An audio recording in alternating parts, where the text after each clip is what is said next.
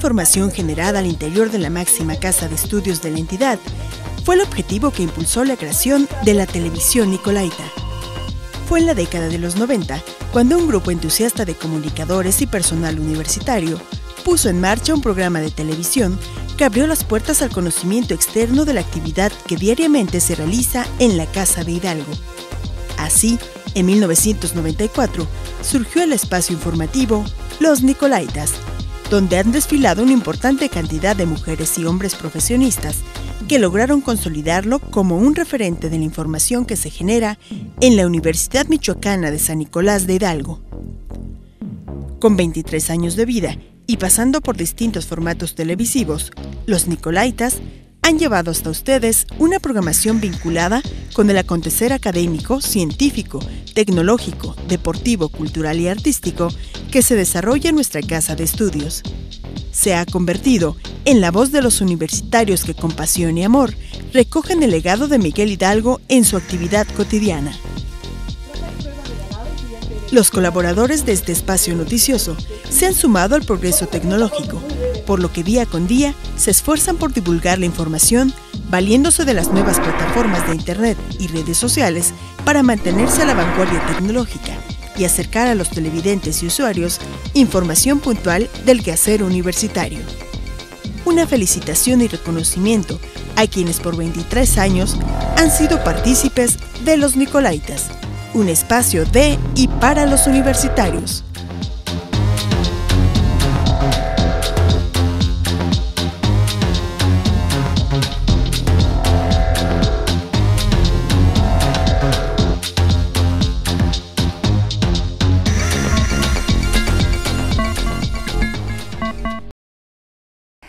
Bienvenidos, me da mucho gusto saludarles. Reciban un caluroso saludo de parte de todo el equipo de producción de TV Nicolaita con un entusiasmo y sobre todo un agradecimiento a todos ustedes que llevan 23 años con nosotros, 23 años de semana a semana llevando la información más importante, más relevante que tiene nuestra gloriosa Universidad Michoacana de San Nicolás de Hidalgo y con este centenario. Bienvenidos. Ya iniciamos con carácter universitario los Nicolaitas. Bueno, durante la segunda sesión ordinaria 2017 del Consejo de Rectores de CUMEX, inaugurada por el gobernador de Sinaloa, fue en ese estado desde luego, Quirino Ordaz eh, Copel, se enfatizó la importancia de participar en el Programa Nacional Red de Jóvenes por Jóvenes y la Comisión Ciudadana para el apoyo del programa contra la violencia en cada entidad federativa, por lo que se solicitará a la Secretaría de Gobernación se puede incorporar a las instituciones de educación superior ambos escenarios. Por su parte, el rector Nicolaita Medardo Serna reafirmó el compromiso por el fortalecimiento de la cultura, la legalidad y la prevención. Esto fue la reunión de CUMEX que fue allá en el estado de Sinaloa. En otro tema, esta semana se dio a conocer la nueva convocatoria de ingreso, donde estará abierto solo para algunas carreras y se va a continuar con el doble registro. Es el propio doctor Salvador García, secretario general, que nos da a conocer estos detalles. En este caso, la Comisión de Ingreso tuvo a bien este, revisar los, los registros. Recordarán que el día viernes pasado se cerraron los registros en la convocatoria y entonces de acuerdo con esta evaluación hay algunos programas, principalmente del área de humanidades, del área de químico-biológicas, este, y algunos programas específicos de ciencias exactas como físico-matemáticas o algunas ingenierías que todavía tienen espacios eh, que no se lograron ocupar, al menos ahorita en los registros. Es decir, que el número de aspirantes fue mucho menor que el número de espacios ofertados. Eh, todos los alumnos que se registraron pueden registrarse en otro programa siempre y cuando no sea de la misma vez. Esto está pensado principalmente para los gentes del área de la salud, porque los registros superan por mucho. O sea, prácticamente 3.000 gentes arriba del cupo de lo que vamos a absorber en el área de la salud. Entonces, por su bachillerato, ellos pueden optar por otros programas que no están dentro de la de la salud, como ciencias de la seguridad y forenses, como ingeniería ambiental, otros programas que sean compatibles con el bachillerato, ellos pueden optar por hacer este registro.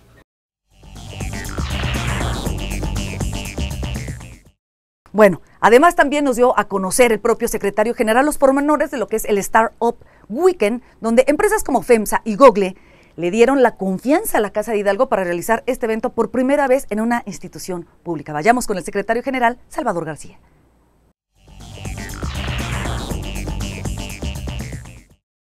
El ejercicio eh, consistió en lanzar una convocatoria para todos los jóvenes. Tuvimos aproximadamente poco más de 400 solicitudes de registro. Desafortunadamente el cupo era solo para 67 jóvenes que estuvieron un fin de semana trabajando con bastante éxito. Fue, están verdaderamente motivados estos jóvenes, quedamos de dar seguimiento y estamos hablando con las empresas para ver si podemos repetir este evento este, para permear. Ellos están muy contentos de los objetivos alcanzados. Básicamente fue motivarlos, enseñar a vender una idea. La condición era que fueran equipos multidisciplinarios, entonces estos 67 jóvenes se conformaron de todas las facultades de la universidad, hicieron equipos de trabajo, este, estudiantes de derecho, con estudiantes de contabilidad, de arquitectura, de biotecnología, para eh, echar a andar una idea, el pensar en un producto e incluso terminaron el domingo ya presentando un prototipo de este, de este producto que ellos pretendían vender.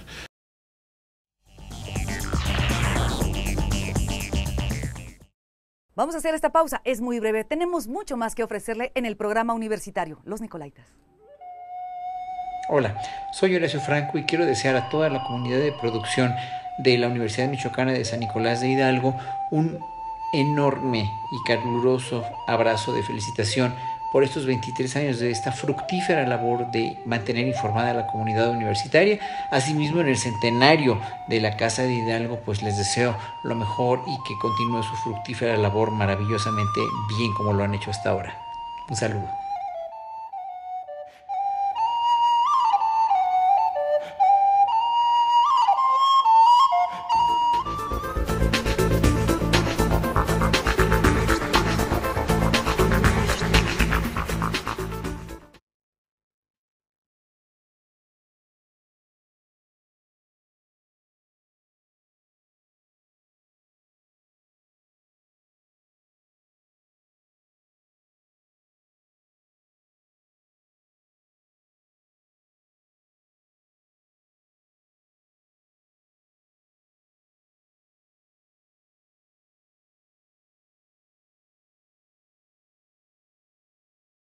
Durante los últimos 23 años, una de las maneras favoritas de los Nicolaitas para enterarse del quehacer de su universidad ha sido seguir el programa de televisión con el mismo nombre, Los Nicolaitas, que el que ha sido fruto del trabajo de un grupo de personas muy comprometidas con la universidad y que ha logrado en este momento llegar a los 23 años.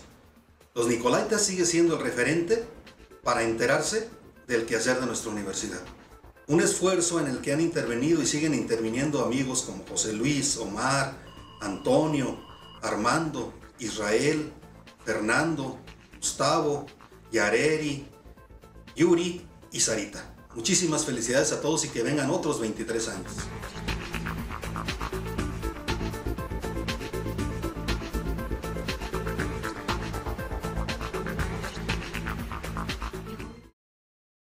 Durante el informe para las actividades de la Comisión para la conmemoración de nuestro centenario de aquí de la Universidad Michoacana, ya se dio a conocer los preparativos por parte de autores de libros, eventos deportivos, conferencias, convenios firmados ya con diversas instituciones, además de distinciones, reconocimientos que se ha otorgado a la Universidad Michoacana. Acto seguido se inauguró la exposición fotográfica itinerante La Universidad Michoacana, Tradición, Vanguardia, Ciencia y Cultura. Esto fue en la sala de exposiciones permanentes del Centro Cultural Universitario. Lo invitamos a que asista en horarios de 9 a 2 y de 4 a 8 a que vean esta magnífica exposición. En otras cosas, esta semana el Nicolaita distinguido es Goretti Torres, es nuestra Nicolaita distinguida y es estudiante de dos carreras. Va a realizar una investigación sobre exploración espacial.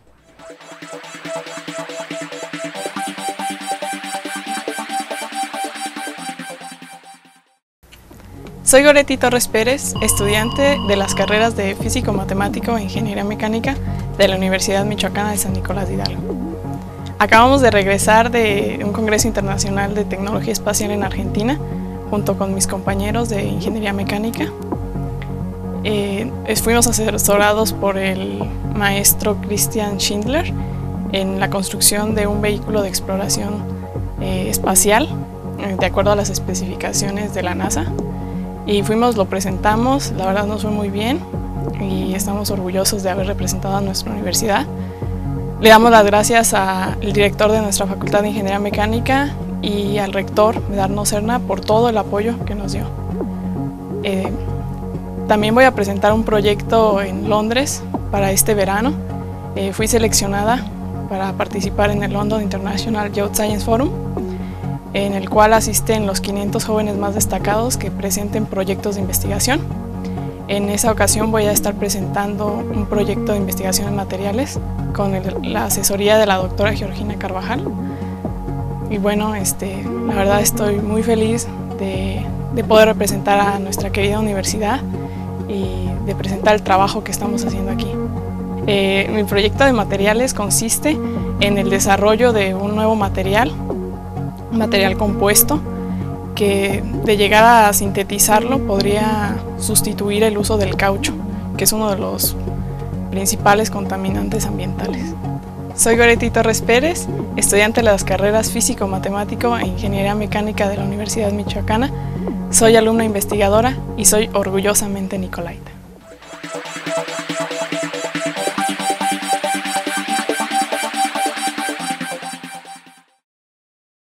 José de Jesús González Barajas es un estudiante de posgrado de Ingeniería Mecánica. Apoyado por investigadores del Grupo de Eficiencia Energética y Energía Renovable, participa en la Cumbre Internacional Estudiantes en Energía 2017. Esto en el marco del séptimo foro de ingenieros especializados en procedimientos para la extracción de petróleo. Esto organizado por la Universidad de China del Petróleo.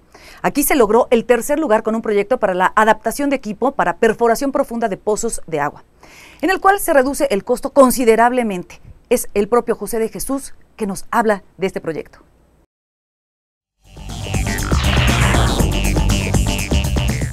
Consiste, o lo que se va a exponer en China, es la metodología para perforar en sitios geotérmicos de, este, baja temperatura de, este, de, este, tipo, los cuales abundan en el estado de Michoacán, en, en el cual en dicho proyecto, en dicho trabajo en China se expusieron las adaptaciones de una plataforma de perforación, del equipo de agua para perforar en, sitios de geotermia. Se expusieron el diseño de algunos equipos también auxiliares y el diseño del pozo, todo lo que son este, válvulas, tuberías. Se expusieron este, todos estos trabajos eh, agrupados en este, en este artículo.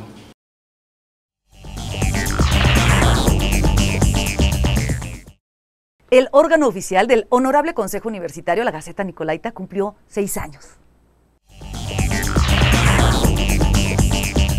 En el marco del sexto aniversario de su fundación, el secretario auxiliar de la Universidad Michoacana anunció el nuevo formato digital de la Gaceta Nicolaita, órgano oficial de difusión de esta casa de estudios.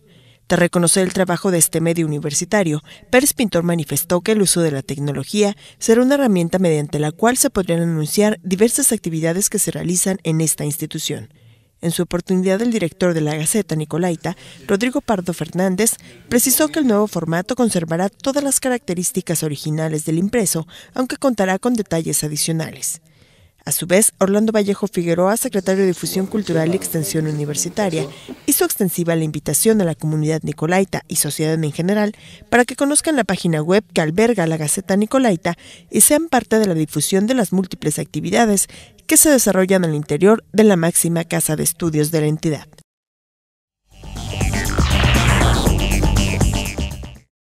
Tenemos invitaciones, tenemos muchas actividades que le queremos compartir. Seguimos en Los Nicolaitas después de esta pausa. Muchas felicidades a todo el equipo de TV Nicolaitas por festejar sus 23 años al aire. Sin lugar a dudas es el mejor espacio para informar sobre la actividad universitaria y esperemos que los próximos años sean igual de completos, pero con un mayor éxito. Felicidades nuevamente.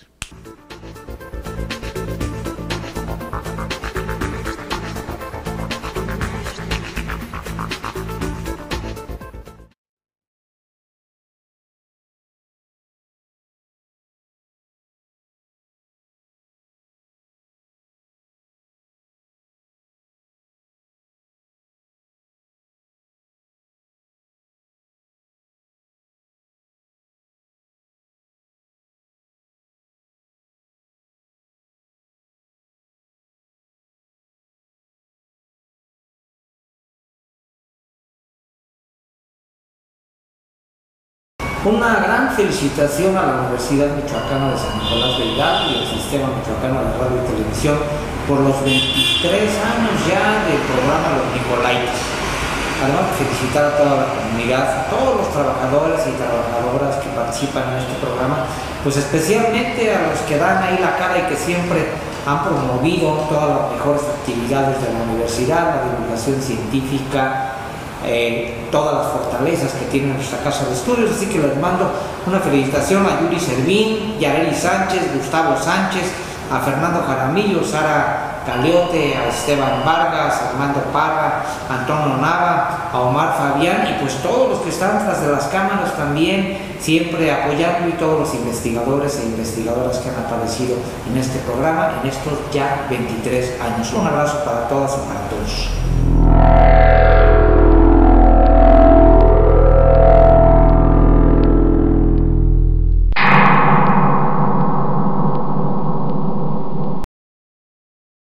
Este instituto tiene abierta la convocatoria para participar en el taller Triunfo de la República, los actores, las instituciones y la guerra.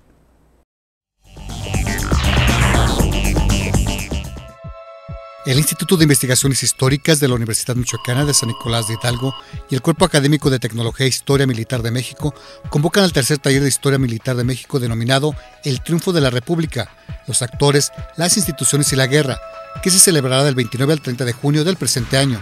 Este encuentro académico tiene por objetivo reflexionar sobre la importancia que hoy en día tiene para nuestro país la existencia de la República como régimen político a 150 años del triunfo de las Fuerzas Armadas mexicanas sobre el Segundo Imperio. Al mismo tiempo, se busca acrecentar el diálogo entre los historiadores académicos y los historiadores militares interesados en el siglo XIX en el país, a partir de sus propias visiones y experiencias de investigación, además de fomentar entre los estudiantes universitarios de nivel licenciatura y posgrado la realización de tesis sobre el siglo XIX mexicano, como un enfoque teórico y metodológico basado en la historia militar. Mayores informes e inscripciones con el Cuerpo Académico de Tecnología e Historia Militar de México a los correos electrónicos siguientes: moisésguzmanp.com, rapay63.hotmail.com y gerardosdíaz.yahoo.com.mx.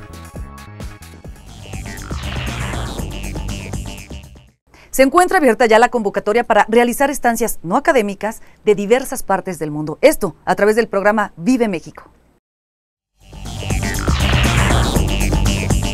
La Universidad Michoacana de San Nicolás de Hidalgo, a través de su Departamento de Vinculación y Desarrollo, dio a conocer a la comunidad nicolaita interesada en viajar al extranjero la oportunidad que ofrece la organización Vive México para realizar estancias no académicas en diferentes países alrededor del mundo.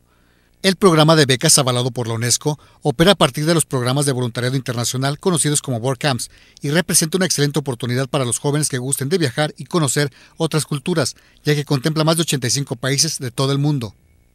Vive México es la organización internacional más grande en Latinoamérica, especializada en el desarrollo internacional de la juventud y dedicados a promover oportunidades para jóvenes latinoamericanos con gastos pagados y en el cual participan alrededor de 100.000 jóvenes cada año. Las becas internacionales Vive México no son de estudio, por lo que puede participar cualquier persona que tenga deseos de viajar, ya que no se requiere ningún certificado de estudios, participando en actividades ecológicas, culturales y sociales en beneficio de una comunidad. Los grupos están conformados por 10 y hasta 20 jóvenes de diversos países, quienes tienen la oportunidad de elegir entre una beca de corto plazo con duración de 2 a 4 semanas o de mediano y largo plazo de 2 meses hasta un año, las cuales incluyen alimentación, hospedaje, transporte local con propósito de la beca, servicio médico y actividades recreativas que dependen de la beca elegida, corriendo por cuenta del becario los gastos de traslado internacional. Para mayores detalles sobre las becas internacionales disponibles, los interesados pueden consultar la página oficial vivemexico.org Becas Internacionales.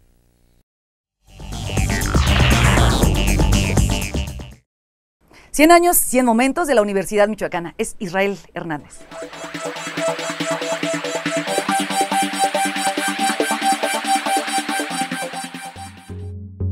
Bienvenidos a una emisión más de nuestra sección 100 años, 100 momentos de nuestra Universidad Michoacana.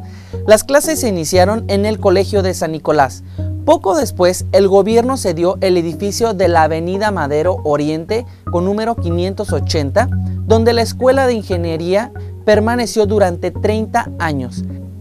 La universidad hizo gestiones para que le fuera adjudicado el edificio del ex colegio de infantes frente a la plaza de San Juan de Dios, hoy Melchor Ocampo. Se pretendía instalar allí la Escuela de Comercio o bien la de Bellas Artes. No llegó a resolverse esta petición. Con el paso del tiempo, algunos edificios que formaban parte del patrimonio de la universidad, cedidos por el fundador de esta, se destinaron a otros usos o se aprovecharon sus rentas para fines diversos. Este es el caso del Teatro Campo. El rector Díaz Barriga se dirigió en varias ocasiones al gobernador Cárdenas para recuperar el dominio del antiguo Coliseo. Se logró la entrega del edificio el 5 de agosto de 1929, pero sucedió con este inmueble como con otros la mayoría de los edificios de la universidad que no le pertenecían legalmente, sino solo por concesiones del gobierno estatal, para el uso a que se les destinaban. El teatro volvió a perderse en la maraña de la burocracia. Hasta aquí en nuestra sección del día de hoy. Hasta la próxima.